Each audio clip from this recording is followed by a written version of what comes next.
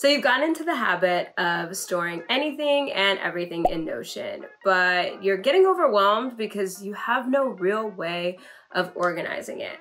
Trust me, I've been there. And the one way that I've found to be able to organize everything, both in the three major areas of my life, but also just super granularly, has been the PARA method. In today's video, I'm going to be teaching you all about the PARA method and showing you how you can implement it in Notion.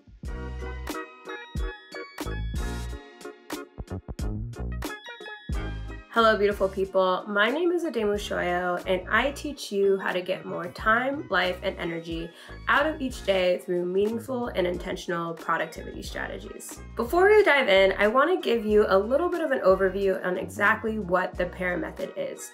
The PARA method was actually started by a man named Tiago Forte, and PARA stands for Projects, Areas, Resources, and Archives. The para method is such a great way to build a second brain and also just have a great way of organizing your digital life and organizing it in these four categories is what's going to make things so much easier and way smoother. The first P is projects.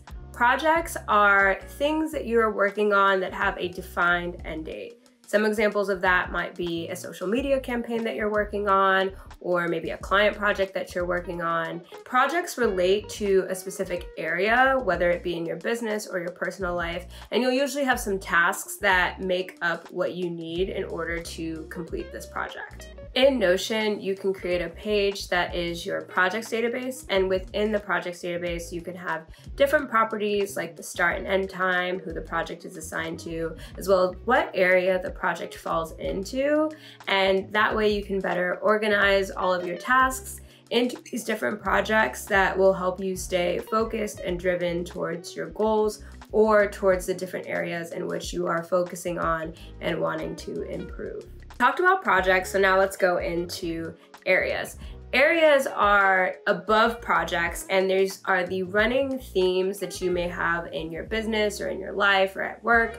They are things such as like maybe your marketing or operations or finances for your business or in your personal life. It could be your travel plans, friends and family, or cooking. These areas have no real end date and these are just things that you're constantly focusing on. Some of these might have goals or different ideas that you might want to have in order to further your commitment or your focus on this particular area. I want to chat with you a little bit in the comments below. Let me know what are some areas in your life that you are focusing on right now.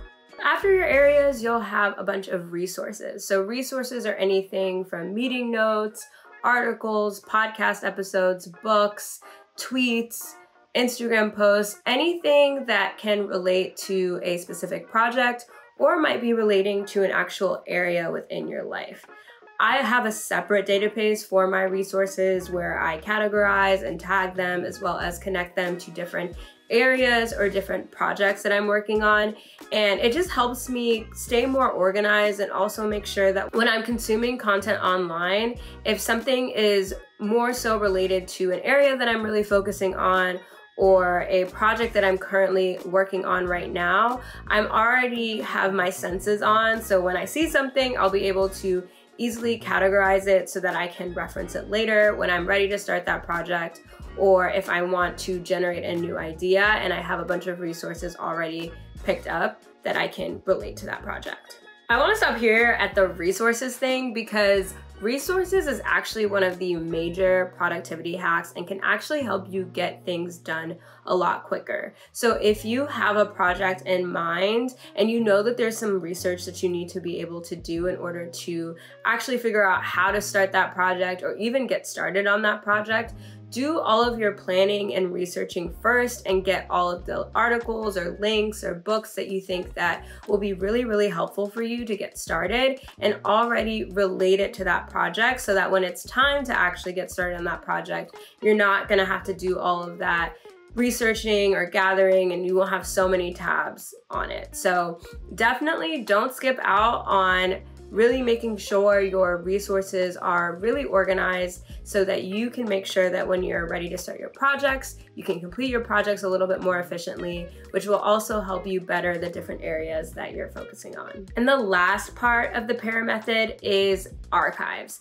Archives are basically your old projects, your old resources, or even the old areas of focus in your life that you just have linked and connected somewhere that you haven't deleted yet, but you may want to reference it later. I know for me personally, I archive as opposed to deleting just because you never know when something is gonna come back and you may want to use it later. I know for me personally, I've gone back to things that I wrote in Notion years ago because I just knew I had it and I, it was easy for me to remember where it was. So don't skip out on archiving.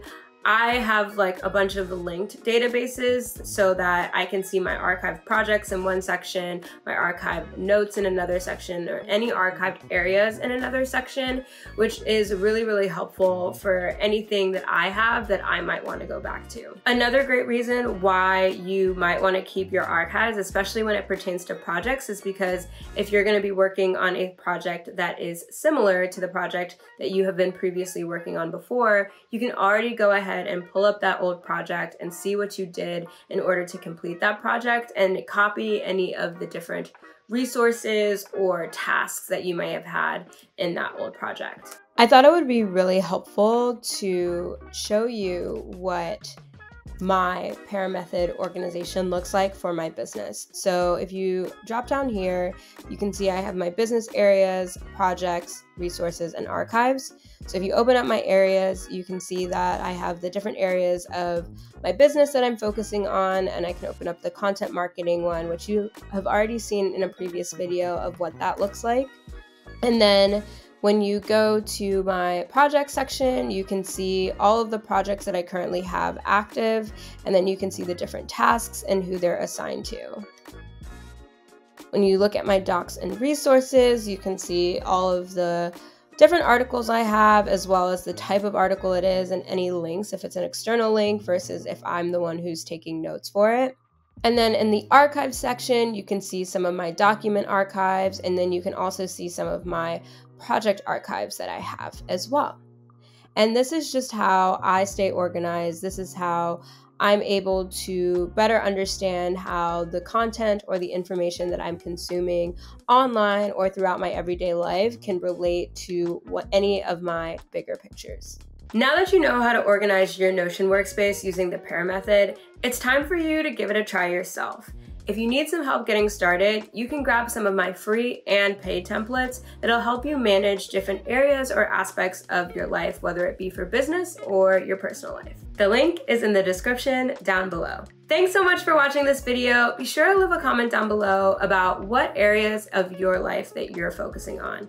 If you found this video to be helpful, go ahead and like and subscribe for more content like this. I'll talk to you guys soon. Bye.